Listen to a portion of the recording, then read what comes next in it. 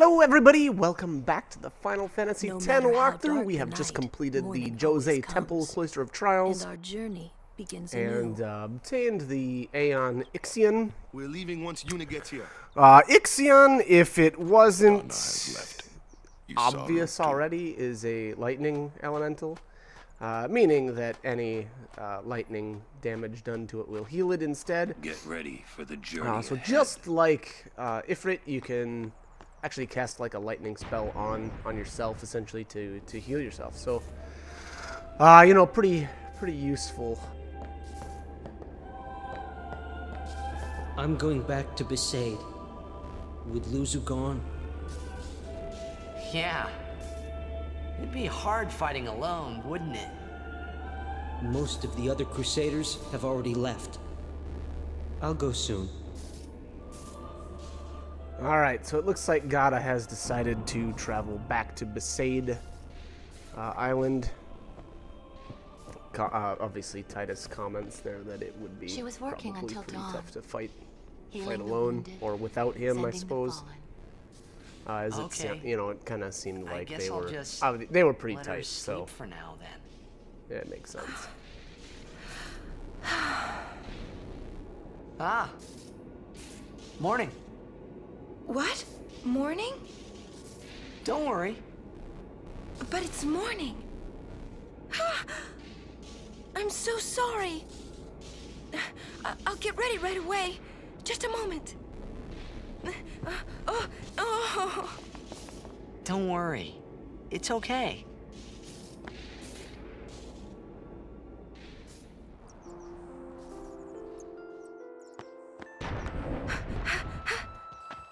Yo, sleepyhead. Sorry. I'm so sorry. Please forgive me. Really, there's no rush. Here, your hair. A summoner with bad hair. What's the world coming to? You could have woken me up. Uh, we called to you, but with all that snoring. Uh, Oh. Mmm. What is it today? Everyone's picking on me.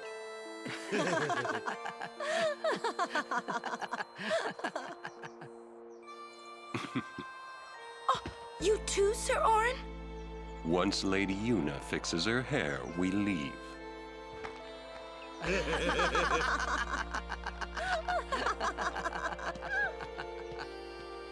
I hadn't really laughed like that in a long time.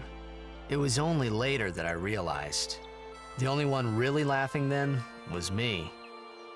Laughing must have been the only thing keeping them going.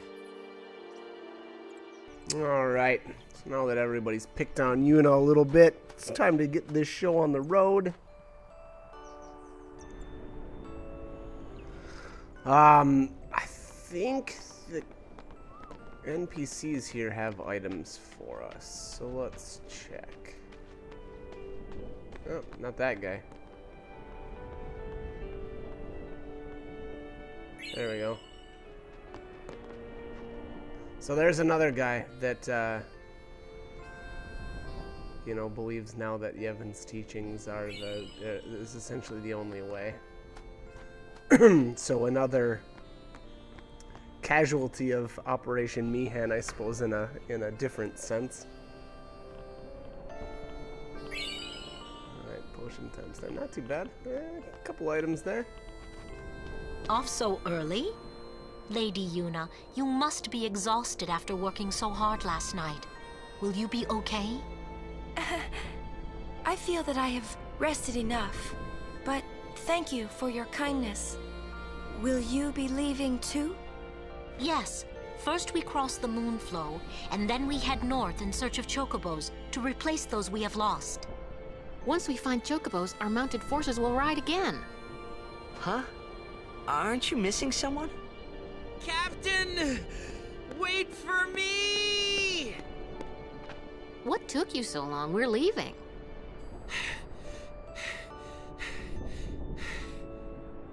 You expect me to keep up with a chocobo? Lady Yuna, I wish you good fortune. El. Ma'am. Hey, can I just rest a sec? No complaints.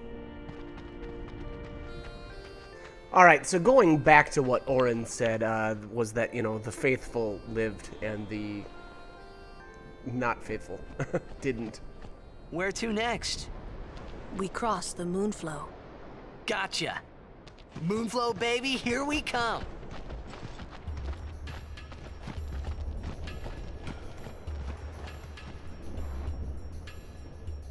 Uh, or at least now the the ones that were that were not faithful uh, have essentially become faithful. I guess. How how about that? That's uh, I think pretty accurate to say as well. All right, so there is a couple couple of people that got injured, and here we have Shelinda once again. We can all learn. Only the truly faithful have a hope of defeating sin.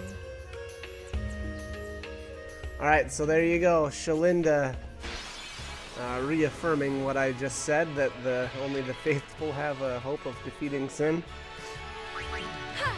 Uh, again, you know, Shelinda is pretty uh, naive, I think, um, but I don't know. She, another, she's a she's a good minor character. She you know she'll she'll pop up from time to time and and just add a little add a little more to the story. So she's she's imp- she's she's minor, but she's still important. Uh, but anyways, uh, on on the road here, there's a couple of treasures off of the off of the trail. And uh, generally, what I like to do here for these Ochus, obviously, I bring in Wakka to uh, to finish them off. And uh, you know, just generally swapping your characters as uh, as needed to, to keep everybody leveling. Uh, again, otherwise, if you if you start neglecting your characters, that that will uh, it will become a problem later on. So again, I would I'd recommend swapping in your in your characters. Uh, what I've started to do though here, especially for the walkthrough, and I think I'll, I'll, I'll keep d- going on with it, is that um, I won't be probably swapping in characters typically like I would normally do. Uh, and what I'll do instead to keep the walkthrough kind of going So you need someone with magic skills. uh, is just swapping the characters as needed. See, Summoner now unit, again here now. I'm doing exactly the opposite of what I'm talking about. But um, from from uh, from where I'm at, and I'm I'm a little bit farther on. I'm probably another three videos past this. But anyways, um, what I'm trying to do is not swap in too many characters to cut down on the actual battle time. Uh, because again, you know, th- there gets to be a certain point where it's not uh, that useful. Um, it's you know, there's there's continuity that and that that can be that can be said for it, but um, you know, I, I don't always like to cut out a ton of these uh, random battles because then that's the other you know thing I touched on in one of the other videos is just that um, there are a lot of random encounters. Once you actually do get to the random encounters, there's a ton of them. So then, um, you know, it kind of gets to kind of gets to be a bit much. Uh, but anyways, so like I said, what I'll probably end up doing then is uh, is not swapping in my characters in and out so much, uh, and instead, what I'll probably do is take short breaks, short kind of like leveling breaks, so that uh, so that my characters don't get you know far behind then that will also, you know, then I won't have to cut out a ton of uh, random encounters, and uh, you know, you waste a ton of, ton of extra time in these random encounters. So here I just summoned Ixion, a couple of My my name's characters were Yuna. poisoned, and to meet you. want to swap in a bunch of different, you know, a bunch of characters or whatever, so I just decided to summon him in and, and, uh, and take these guys down.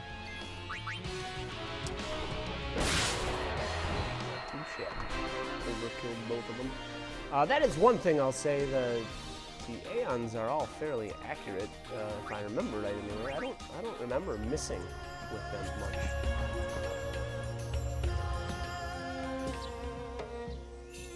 Look!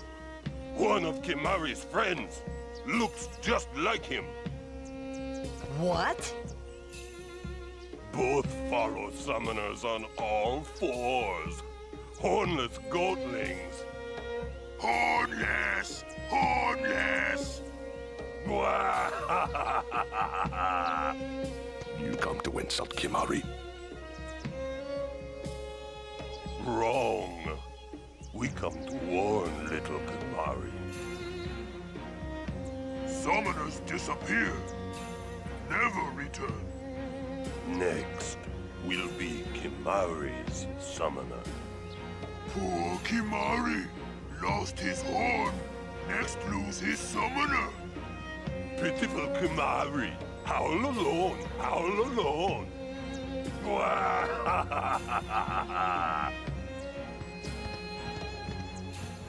Do those two uh, got something against you? What? They were just picking on you? Kimahri would deal with them. And I'll help. Kimahri alone.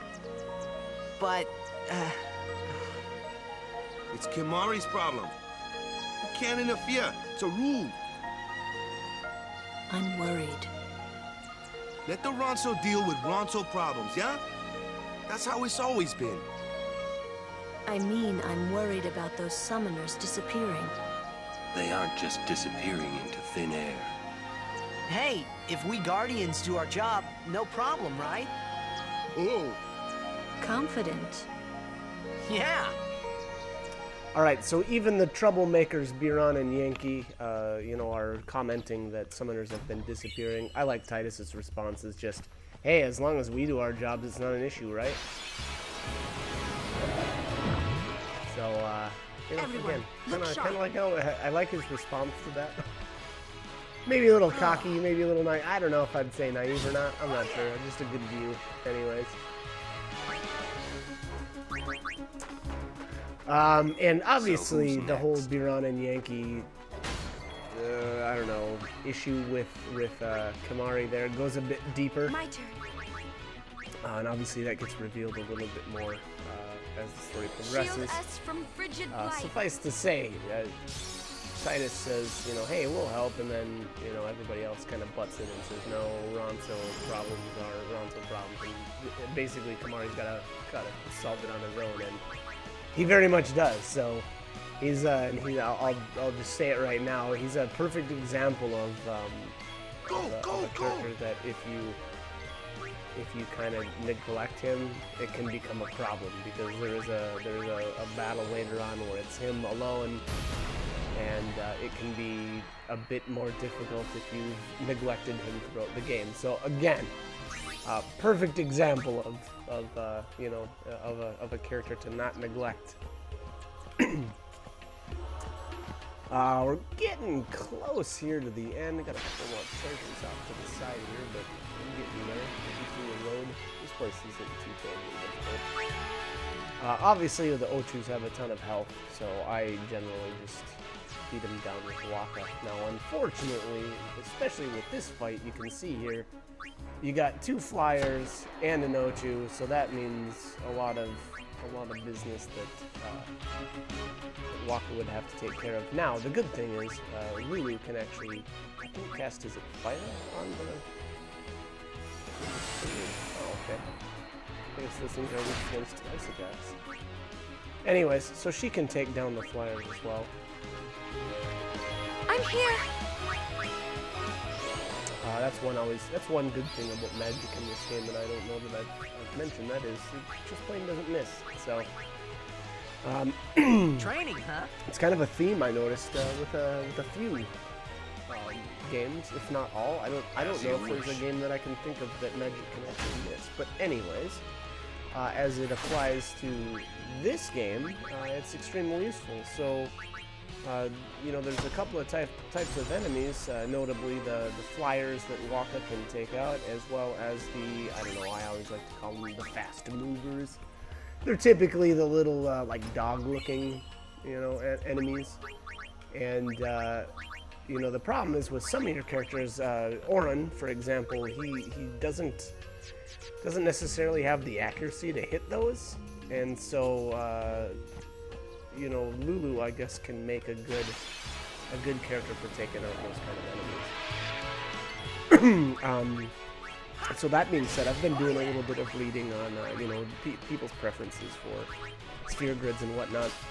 And uh, one of the one of the reasons that people really like, uh, you know, the expert grid is so that you can go down the the black mage path with Yuna, and that makes sense. Uh, you know, I don't know if I agree with it just because of, you know, white white magic is pretty nice too, but um, you know, there's definitely something to be said for it because then, uh, to that token and going on what I've already brought up is that you know you've got one more character in your lineup that could that could you know potentially deal with those those monsters that are a little uh, you know faster moving and, and thus you could you could have some more problems with other characters with so so there's that We meet again. I heard you took part in Operation Mi'ihen. You've seen that Machina aren't the answer. In the end, only summoners can hope to defeat Sin. You are right. I must train harder. I can help with that, if you like. I propose a contest of Aeons. A friendly contest, of course. I'm ready. That's the spirit. But before we begin, I have healed your Aeons. Well, shall we? all right so here's our next challenge with Belgemine, and just like the other ones there's a little bonus for if you actually win uh, I don't remember what it was in this case two, uh, two dragon scales or something like that uh, but anyway, she's going to summon Ixion, and I am going to fully suggest summoning Ifrit. Uh, the good thing, or at least for me anyway, was that uh, Ifrit was already in overdrive. So, uh, what I think I end up doing here is just ripping off his overdrive right away, and then uh, I think I'm going to take a bunch of damage, which is unfair. That's that's kind of how it goes.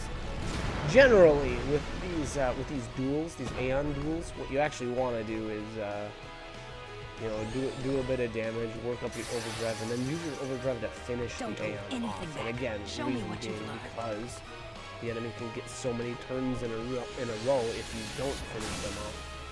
Uh, because of the time it actually takes to, uh, I recharge. I don't know, I don't know what the best best way to say that is. But anyways, again, uh, usually the best way to handle these guys is to finish them off. Uh, again, no, unfortunately I didn't. Uh, I just, you know, what was that, about 5,800? And I don't remember how much health Ixion has. But uh, what I what I then just do is heal, you know, over and over, or use his turns to heal. And now, look at this, he's gonna get like three turns in a row, so that's gonna be a little rough. In all honesty, it probably would have been a better idea to just use like the shield command instead, although that turned out just fine. He evaded once and then you know, the two the two final hits actually yeah. So the the two final hits put him back in the overdrive, which then we're gonna use again. and boy, if that doesn't yeah, I was gonna say if that didn't finish off Ixion, boy, that would have been we would have been in real real trouble there after. So that is how I did it. Um, again, now if if you uh, if you don't have the overdrive, going into the fight, you can uh, you can play it out a little differently. You know, keep yourself healed up, uh, shield if you need to, uh, boost. You're also, good. if You you, if you think that's a good idea. Here, your prize. Go on, take it.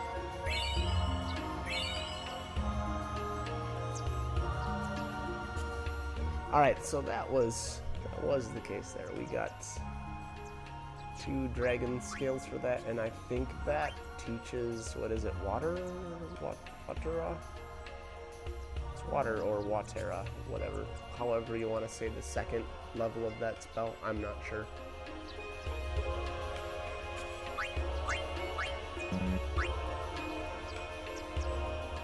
Uh, I, and so, so grayed out abilities there obviously are the ones that you can't teach or have already learned. Uh, I think the tutorial does a pretty decent job of explaining that.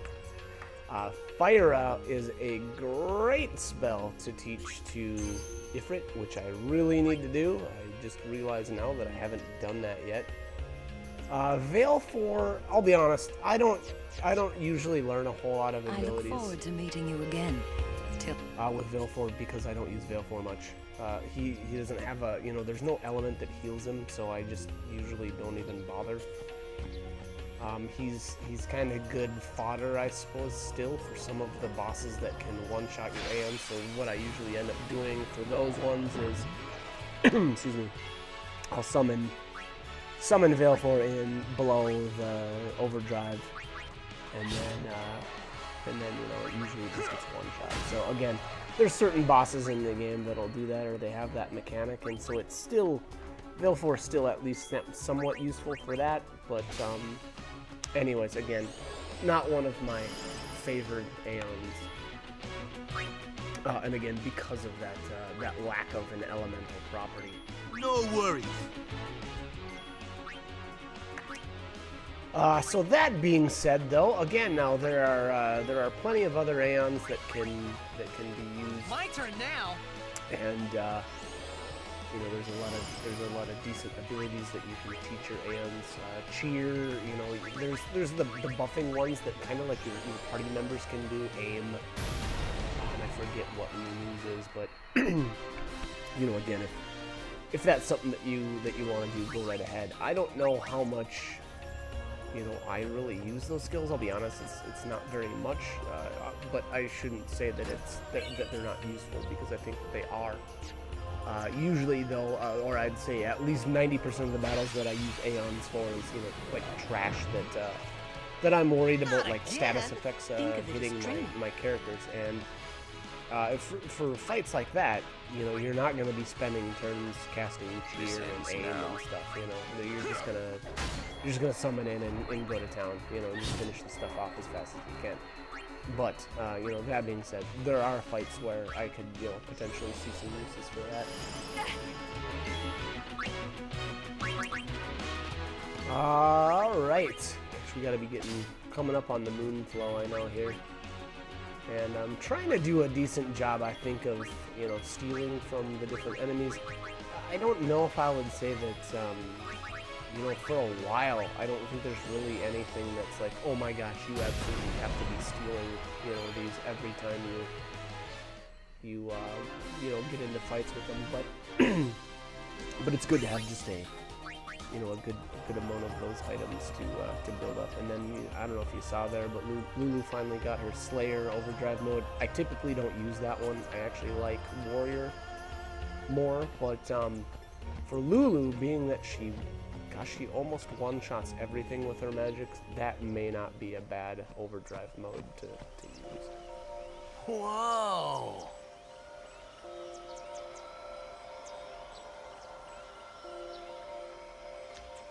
This is the Moonflow. These are moon lilies. They say that clouds of fireflies gather here when night falls. the entire river glows like a sea of stars. Really? Hey, I got an idea! We're not waiting till nightfall. Ah.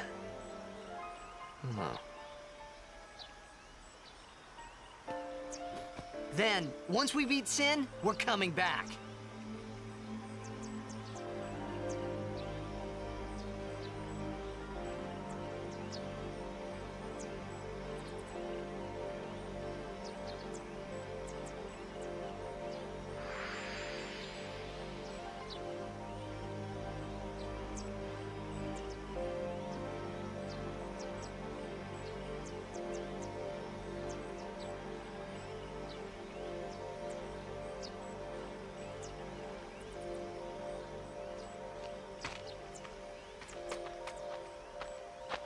Hey, we better hurry or we'll miss the Shoopuf. Shoe puff? That's some kind of boat? Hmm. All right, so we have finally arrived at the Moonflow, and it's time to board the Shoopuf. Uh, that was a pretty bad impression, sorry. Maybe next time.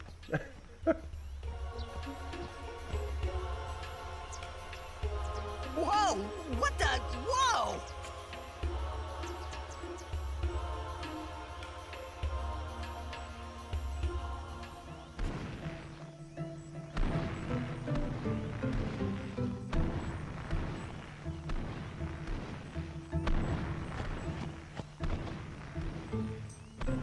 This is a Shoopuf. Whoa! Let's ride! Come on, let's go! All right. We board soon as we ready, huh? Alrighty. So there you get the first glimpse of the Shoopufs, which I think are pretty cool. Uh, a couple of Phoenix Downs and a Wakka here. I don't remember what he's selling. Okay, looks like weapons and items. Um, yeah, I don't think I buy anything here, so eh. Yeah, I don't really think that there was anything worth buying.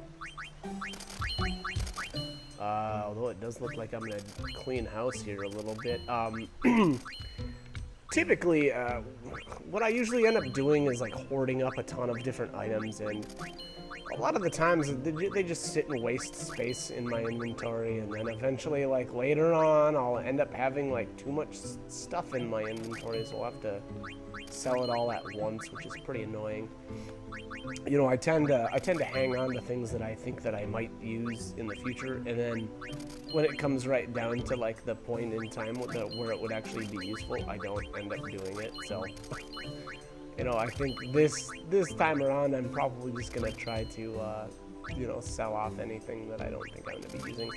Uh, that halberd there has got a magic plus 20% on it. That's pretty huge, but um, you know, for me, I I'm not building Kimahri's magic, so I don't know that that's going to be useful at all.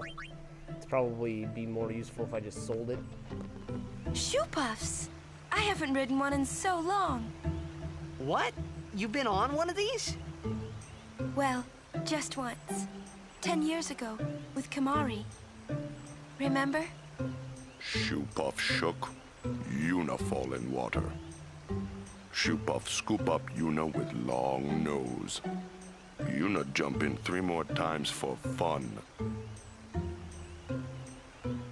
Kimahri worried. Whoops. Yuna had fun. Kimahri happy. I lived in the city of Bevelle until ten years ago. I moved to Besaid after my father defeated Sin. Kimahri was with me the whole way. Bevelle? It's the biggest city in Spira. The main temple of Yevon is there. All right. So, Iran is troublemaker, but uh, Yuna obviously made this trip uh, when she was, Someone what is would have been, disappearing. eight? That was not lie. I don't know. I think maybe I, maybe I have the I'll be careful. wrong, or maybe she was ten, something like that. Anyways, um, so she made the trip, but in reverse. Obviously, she was going to Besaid. Uh, and here on this, uh, so on this side of the of the the wharf, I think is what they're calling it here. Uh, there's all kinds of merchants, and now you know some of these guys have some I don't know kind of cool stuff, but at the same time, I just I don't know, it's super overpriced, and I don't, I don't know, it just really didn't feel like anything was worth buying. So I mean, you can check out the shops and decide for yourself. Uh, and if you want, you can check these different um, the people around here. I don't remember if there's any uh, blitzball players or not. I know for sure on the opposite side of the wharf there is one or two. I just don't remember if there's any on this. Ten years ago, Ah, a history lesson? Jecht saw his first Shoopuf here. Surprised, he drew his blade and struck it. What? Why? He was drunk, thought it was a fiend. Oh, brother. We offered all the money we had as an apology. Jecht never drank again. But it would seem that Shoopuf still works here. All right, so a little bit of character development for Jecht there, and he's not even here. I like that.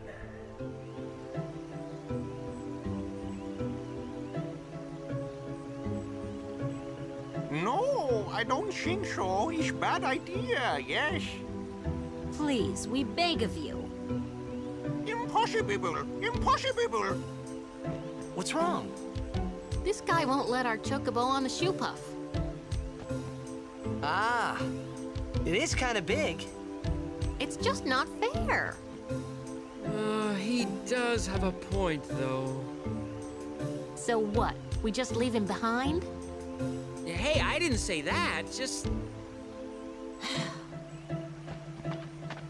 It is no good. We will have to find another way. We will find a ford where we can cross on foot. Yes, Captain Sir. But that'll take days. Where there's a will, there's a way. Oh, boy. That's our captain.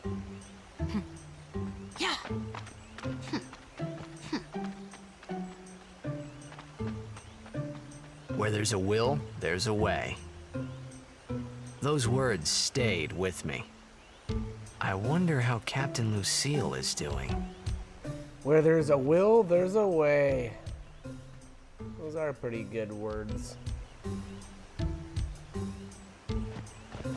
Would you like to hear a bit about the wondrous Shoopuf? Very well. There are many things we do not know about the Shoopuf. For example, what does it eat? It eats nothing. The water it sucks through its schnoz somehow supports its considerable size. Some theorize it eats teeny weeny waterborne organisms. Hmm. And that, as they say, is that. Perhaps you'd like to hear a bit about the Hypello, hmm? Hmm. The Shoopuf handlers belong to a race of water dwellers known as the Hypello. They may be slow on land, but in the water they're quick as silvery fish. You'd think they'd make admirable players of blitzball. But their lackadaisical disposition draws them to less strenuous pastimes. Hmm. And that, as they say, is that. I believe I've said all there is to say. Alright, so there's a little history lesson from Macon. Uh, and this guy, look at this guy. This looks like Jamal. I, uh, I recruited him for my blitzball team, but I don't that, that, I don't I don't think that actually is Jamal. I think Jamal is always in Luca at the uh, what is it the Oh, no, I can't remember it. Oh, the Blurry Moon there, that wouldn't necessarily be a bad weapon, but I already had the one with initiative on it, so I just stuck with that. And I think this is a... I think that's a Blitzball player right there. Let the so, driver know uh, I when you're a ready. free agent. I want to say it's Shu. Sh uh, I think, anyway, or Shami, something like that. One of those two. Riding a Uh, but anyways, isn't that much fun. uh, we gotta cut it here, so like, comment, subscribe. Uh, what do you guys want to do? you know. Hope the guys are helpful though. Hope you're enjoying them. things and little hope you boys join never me for grow more. out of. All right, thanks for watching. Right?